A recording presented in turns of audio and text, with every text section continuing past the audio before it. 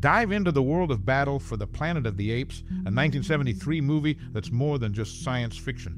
This film marks the end of the original Planet of the Apes series, telling a tale of survival, conflict, and hope. But there's a lot more to this movie than you see on screen. There are many interesting behind the scenes stories, personal effects, and a mix of funny, surprising, and sad facts that might change how you see this film. Ever curious about the unknown stories from the making of this movie? What special behind the scenes moments happened during its production? These little known facts are not just fascinating, but can also change our view of the movie. Also, think about how a movie can influence someone's life in a big way. How might Battle for the Planet of the Apes have inspired or affected people for real? Now, let's focus on you. What's your most memorable moment or personal connection to this movie? Did it resonate with you in a unique way? We're excited to hear your stories and memories in the comments below. Share those experiences that connect you to this well known film. The fifth and final entry in the original theatrical Apes series, Battle for the Planet of the Apes, is often considered the weakest link in the saga.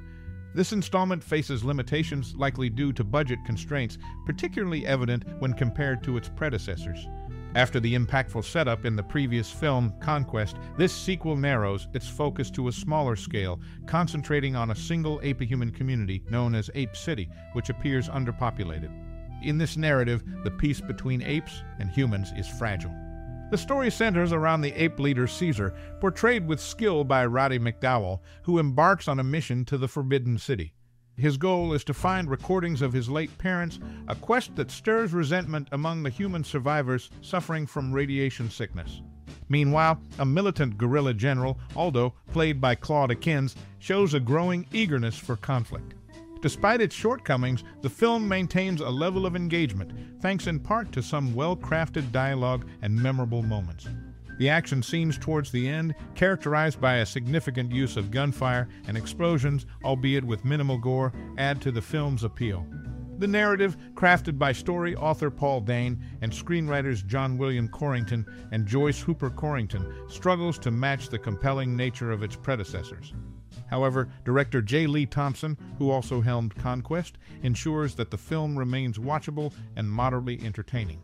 The performances stand out, particularly from seasoned actors like McDowall and Akins. They receive strong support from Lew Ayres, Paul Williams, Natalie Trundy, Severn Darden, Austin Stoker, France Nuyen, and Paul Stevens. Notably, John Landis appears in a minor role as an ape, while the esteemed actor-filmmaker John Huston graces the film in wraparound segments as the wise lawgiver. Though the movie is engaging for its duration, it ultimately falls short of the high expectations set by its predecessors. Available in both a theatrical version and an extended cut, which adds about 10 minutes of footage, the film transitions into a television series following its conclusion. Overall, it earns a rating of 6 out of 10, reflecting its place as a somewhat disappointing yet watchable chapter in the Apes series. This film had a strong effect in many areas, not just in movies. It even inspired a music group. The Irish alternative rock band Fight Like Apes named themselves after a line used by Caesar, the main character in the film. This shows how the movie left a lasting impression, even though the band thought it was quite bad. The film also has interesting personal connections to its actors. For example, one of the actors in the film was related by marriage to Bob Crane and Sigrid Valdis, who were famous for their roles in Hogan's Heroes. Apart from this, the film influenced music in ways other than its own soundtrack. A well known actor from the movie was in the music video for Voices That Care and sang in the choir for this charitable song. This shows that the actors were involved in important causes outside of their acting work. These details may seem unrelated, but together they show how the film influenced different areas and the varied interests and connections of its actors. Even though the film wasn't as well received as its earlier versions, it still had a strong effect in many areas, from culture to personal stories. In short, despite its criticisms and problems, the way the film influenced others and the different activities of its actors tell a story that goes beyond just the movie. It reminds us that films can inspire, connect, and involve people in unexpected ways. This movie, as part of a bigger series, didn't just add to the story of apes and humans, but also had a unique effect on different parts of culture and personal lives. The director's preference for filming on location rather than in a studio was a notable aspect of this movie's production. This approach, while challenging, added a layer of realism to the film's setting and atmosphere. The choice of real-world locations over studio sets contributed significantly to the authenticity of the depicted post-apocalyptic world.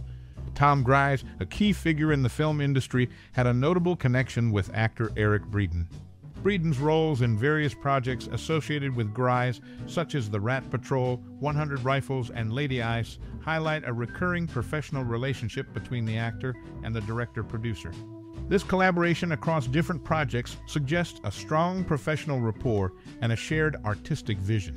Roddy McDowall, who played a central role in this film, had an interesting brush with the Star Trek franchise.